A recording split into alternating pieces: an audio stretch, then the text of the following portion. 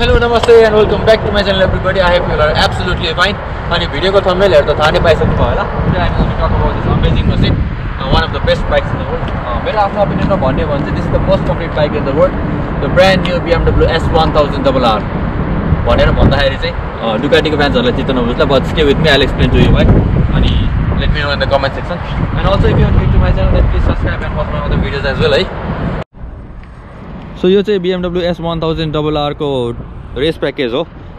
अनि am package चाहिँ योभन्दा एउटा माथिको भेरिएन्ट हुन्छ। अनि एम प्याकेजसँगको कम्पेरिजनमा फरक पर्ने भनेको चाहिँ यसको मेन चाहिँ विल हो। यो चाहिँ अल्मुनियम विल हो। अनि एम प्याकेजको विलमा चाहिँ कार्बन विल आउँछ। अनि प्लस सिट अलिकति फेरिन्छ। ओके सो लास्ट इयरको कम्पेरिजनमा यसमा सबैभन्दा बिगेस्ट चेन्ज आएको चाहिँ यो मेन हेडलाइट हो है। हामीलाई हेर्दाखेरि नै फिल हुने चेन्ज चाहिँ यो हेडलाइट हो। पहिला चाहिँ असिमेट्रिकल हेडलाइट थियो भने चाहिँ अहिले चाहिँ बहुत सिमेट्रिकल हेडलाइट बनाएको छ प्लस प्रोजेक्टर लाइट वान साइडमा मात्र थियो भने चाहिँ अहिले चाहिँ टु साइडमा प्रोजेक्टर लाइट प्लस टु साइडमा एलइडी लाइटमा चेन्ज गराएको छ। बट त्यो चाहिँ हामीलाई हेर्दाखेरि फिल हुने मात्र चेन्ज हो बट बिएमडब्ल्यू सेज कि इट्स कम्प्लिट डिफ्रेन्ट बाइक है।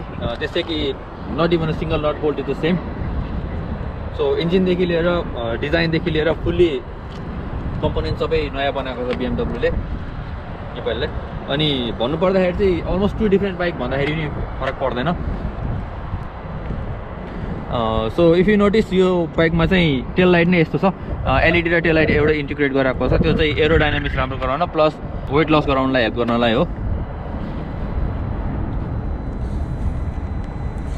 सो इन्जिनको कुरा गर्नु पर्दाखेरि चाहिँ यो बाइकमा चाहिँ इनलाइन फोर सिलिन्डरको इन्जिन छ।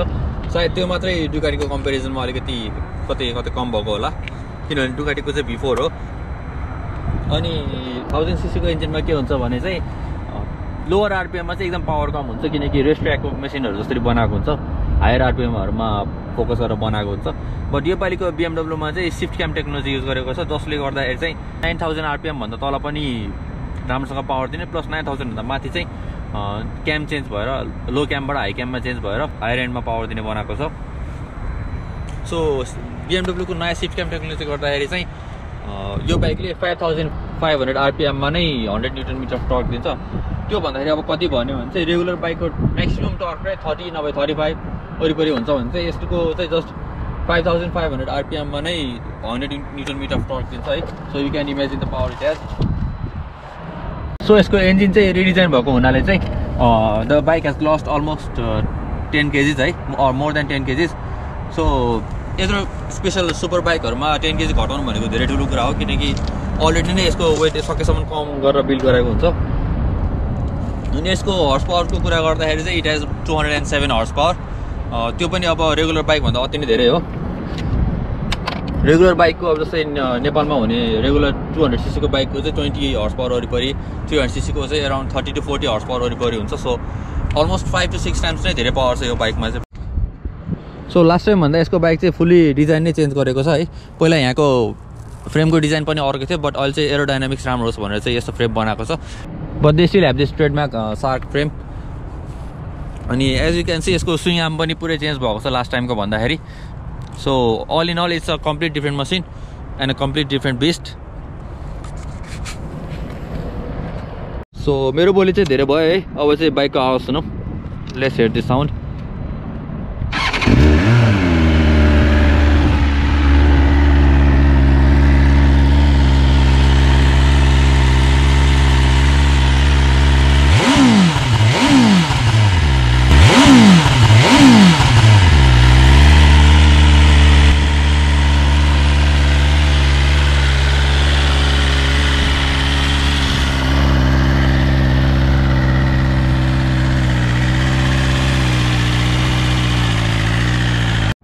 so यसमा चाहिँ quick shifter up down both छ है। अनि क्विक सिफ्टरले चाहिँ तपाईँलाई के गर्छ भने चाहिँ अब बिना क्लच युज गरिकन चाहिँ गियर फेर्न मिल्छ है।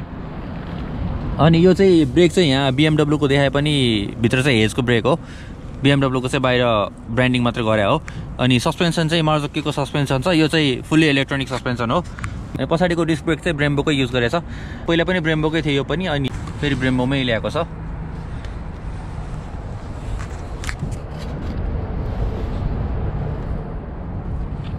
अनि यसमा चाहिँ रेगुलर एबिएस भन्दा पनि एबिएस प्रो युज गरेको छ जसले चाहिँ कर्नरिङहरूमा पनि एकदम हेल्प गर्छ।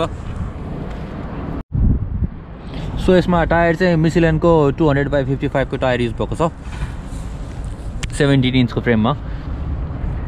अनि अगाडिको टायर चाहिँ one hundred twenty by seventy. So बाइकको लुक्स त भइहाल्यो अब चाहिँ यसको स्क्रिन हेरौँ है। यो चाहिँ six point five inch TFT display screen हो। अरू बाइकमा भन्दा एक्स्ट्रा रेगुलर फिचरहरू पनि यसमा धेरै छ। जस्तै यो ग्रिप हिटर हो। यसले चाहिँ तपाईँलाई जाडोहरूमा चलाउन सजिलो गराउँछ। यो चाहिँ मोड कन्ट्रोल हो। You can choose either road dynamic race rain according to situation है। अब जस्तो बाटो हिँड्दैछ अब ट्र्याकमा जाँदैछ भने त्यही अनुसारको सिचुएसनमा चेन्ज गर्न सकिन्छ।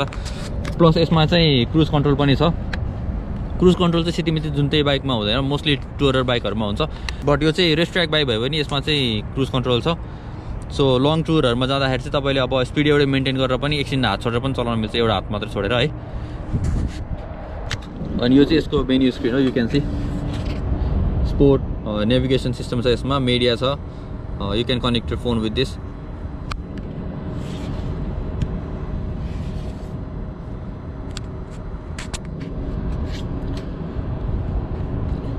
अनि तपाईँलाई अर्को स्क्रिनबाट चेन्ज गर्न मन लाग्यो भने चाहिँ यसमा चेन्ज गर्न पनि मिल्छ। यसमा चाहिँ ट्र्याक्सन कन्ट्रोलको अप्सनहरू पनि छ। प्लस ब्रेक कतिको लगाएको छ कति डिग्रीमा कतिसम्म लगाएको छ त्यो हेर्न मिल्छ। प्लस लिन एङ्गलहरू चेक गर्न मिल्छ बाइकको and you can check the modes so कुराहरू धेरै भयो। अब चाहिँ यसलाई चलाएर हिँडौँ है। And I so you around with the bike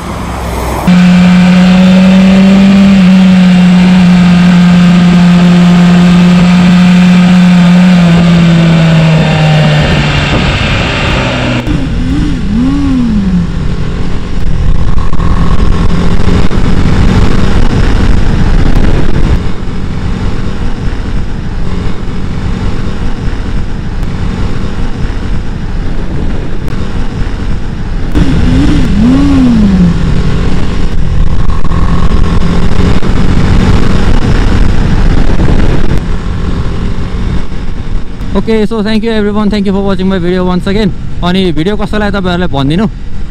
Plus which bike do like त्यो पनि भनिदिनु है। बिएमडब्लु मन पऱ्यो कि डुगाटी मन पऱ्यो कि? And also if you are new to my channel then please do subscribe है। I have more video coming